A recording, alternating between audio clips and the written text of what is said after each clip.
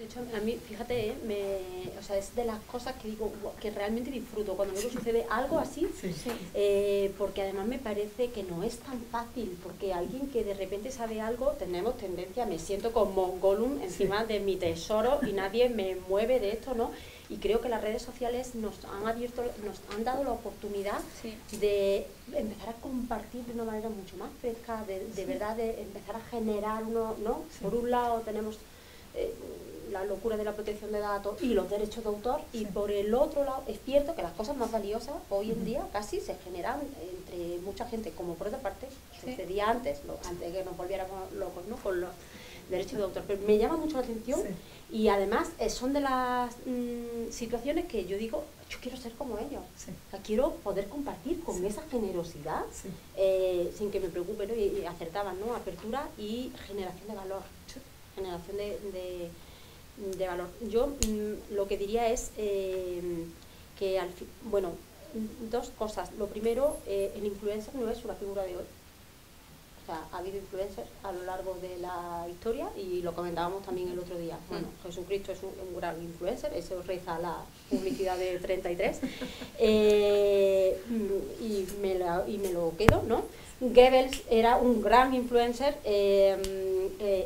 Churchill, eh, en fin, que quiero decir que, que, mm, influencers ha habido toda la vida. Jorge VI, de la mano de Churchill, tuvo que aprender a hablar en la radio porque era la manera que había en ese momento de llegar a la gente. Y, hoy hay que aprender a hablar por Twitter y concentrar lo que sabes, 40 caracteres, que es un horror para algunos que lo sufrimos, ¿no? Eh, pero no es nada nuevo y creo que la pregunta Mm, que le haríamos a cualquiera de los anteriores, cabe hacérsela también a, este altozano ¿no? o, a, quien, o a quien sea. Casi no es tanto una cuestión de qué y de dónde, o sea, mm. de qué haces y de dónde lo estás haciendo, en, las redes sociales o en el, tu clase de aquí de la UFV, eh, que importa, claro que sí, pero mm, a mí me gustaría poner el foco en cómo lo haces, ¿no? Al final, eh, ¿quién soy yo? Que estoy haciendo esto de esta manera, ¿no? Aplicando el método HCP, vamos a pongamos el foco sobre una acción de influencia, eh, sea cual sea, ¿no?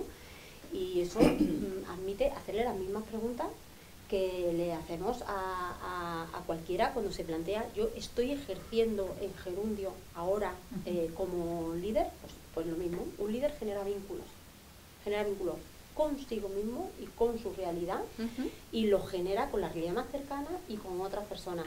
Eh, pues hagamos la misma pregunta. Pues Altozano está generando vínculos o no los está generando. Los está generando con su propia vida y aquí mm, me gustaría poner simbolito rojo en una clave que yo creo que es esencial en esto y es la autenticidad.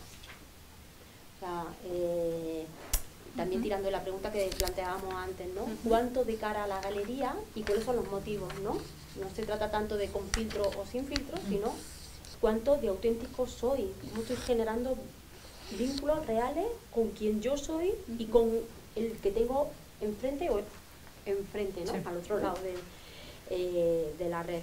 Y así podríamos seguir haciendo preguntas. ¿Cuántos vínculos genero? ¿Cómo estoy integrándome a mí mismo, integrando voluntades? Realmente, porque una cosa es un like y otra cosa es qué hago con el like. ¿Cómo soy capaz de integrar voluntades, de arrastrar a que la gente se comprometa con algo valioso? ¿no? y, en esto yo, fíjate, doy un paso más. Qué bien que seamos capaces de generar contenidos, ¿no? Mm, pero de la misma manera que en la UFV nos planteamos, no nos vale con dar una super clase a nivel de contenidos, sino que queremos profesores que sean testigos y que den testimonio con la vida y que arrastren a los alumnos, creo que deberíamos pedirle igual a un influencer que queramos convertir en líder en, las redes sociales. ¿Cuánto eres capaz de comprometer a la gente con algo valioso? Completamente. Qué bien estás generando, ¿no? Y qué bien estás generando para otro en función de lo que necesita. Decías, escuchemos, ¿no? Lo que, lo que el otro necesita, ¿no? Eh, ¿Cuál es mi misión y para qué? ¿Para qué estoy? Bueno, pues lo mío es vender zapatos porque me estoy forrando con esto, fenomenal. Bueno, bueno, pues estás haciendo un negocio. ¿Es una acción de liderazgo? No.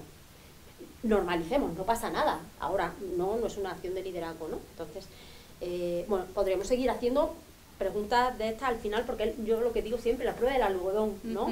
Pues eh, haz las preguntas finales a lo que estás haciendo, porque al final ser un influencer en la red es mm, ser un líder de mi equipo de trabajo en la universidad o el líder de mi equipo de trabajo en una empresa, ¿no? Eh, es una opción.